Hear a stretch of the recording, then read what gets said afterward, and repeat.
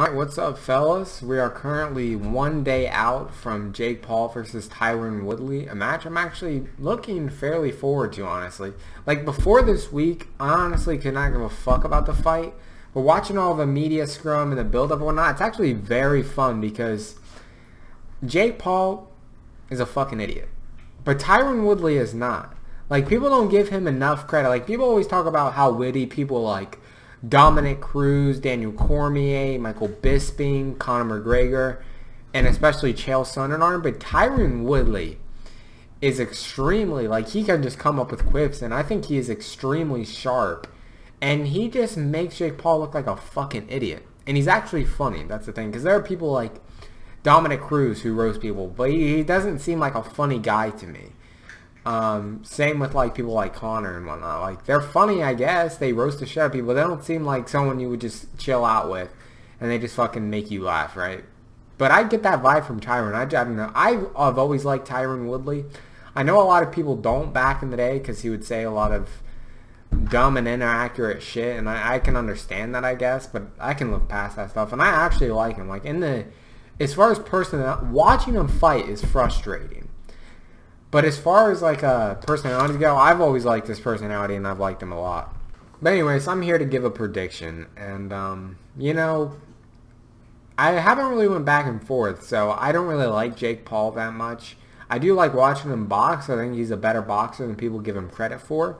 But I still don't think he's a professional boxer. I still think he's an amateur boxer. But with that being said, he's not bad. And, and if you're judging off boxing metrics, there's no other conclusion you could come to then he's not bad because he hasn't been touched basically.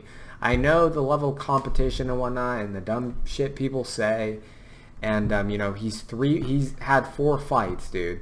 Honestly, he's probably his competition is probably up to par with everybody else's. It's just so high profile. People expect him to be fighting for a world title, and then they're like, you know, why are you fighting a guy who's never fought before? If you know yeah, this is so popular, and you're such a good boxer. Then why are you fight an MMA guy?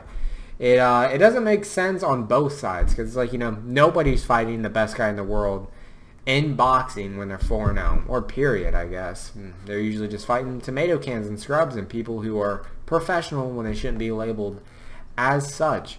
Uh, but basically, I've always thought that Jake Paul is going to win this fight. I don't know how Tyron Woodley is going to look but he's never, I don't give a fuck what anybody says.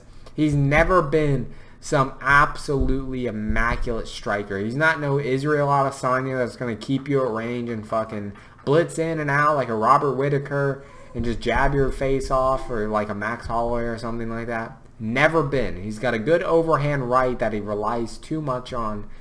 And um, it's done him well, I guess, because, you know, he is a very good fighter. So pair that up with everything else. He's got a good wrestling pedigree.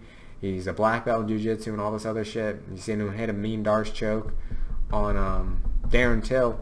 You know, he's a good fighter, but he's not some elite boxer. So not only was he not an elite boxer in his prime when he was 35, but he's not he's 39 on the downside of his career. So maybe he's better at boxing because he's focused more on that. But it doesn't seem like he's focused on wrestling recently. Like that's what's gassed him out and um, has played a huge factor is people that wrestle fuck him. Gilbert Burns, who's an incredible jiu-jitsu guy, people will roast jiu-jitsu guys for not having good takedowns, destroyed uh, Tyron Woodley in wrestling. Now, I think Gilbert Burns is an excellent wrestler since watching his fight against Wonderboy. He has a very good single leg. Uh, but that's besides the point. So, has he always been? I've always think that He's focused more on striking throughout the end of his MMA career, and his striking was still not something to uh, to be amazed at, to be completely honest. And um, that's in MMA, so you know maybe it's hard to tell, it's hard to gauge. You know, there's not really a fair measuring stick. But I've always just went to Jake Paul because Jake Paul is an actual boxer. People can say whatever they want, whether he's a professional boxer or amateur boxer.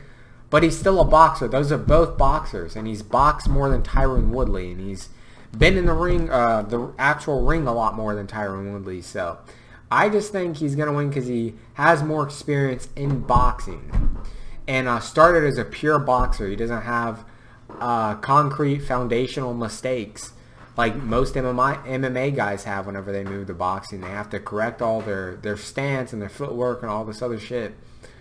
Um, and the clinch work is completely different, I presume. So um, I don't know. I just predict that Jake Paul is going to win. Hopefully not by knockout, because literally Tyron Woodley is one of my favorite MMA personalities, to be honest. But I'm I'm gonna say I'm going with Jake Paul to win, but I most certainly do not want him to win. Right? Not that I hate him or anything, but you know he's not my favorite dude on the planet. So I think Jake Paul is gonna win, but Tyron Woodley, please fucking win for us. Do it for us.